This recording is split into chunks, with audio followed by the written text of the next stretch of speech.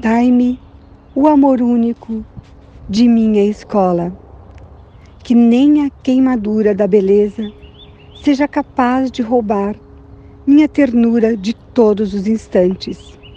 Mestre, tornai perdurável o fervor e passageiro o desencanto.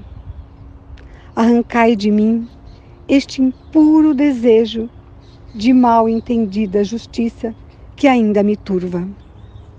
A mesquinha insinuação de protesto que sobe de mim quando me ferem.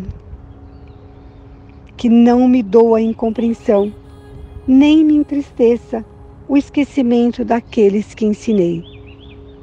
Dai-me ser mais mãe que as mães, para poder amar e defender como elas o que não é carne de minha carne.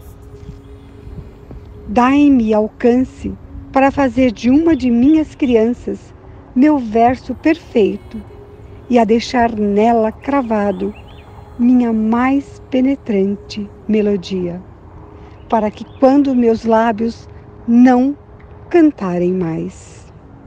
Mostrai-me possível teu evangelho em meu tempo, para que não renuncie à batalha de cada dia e de cada hora.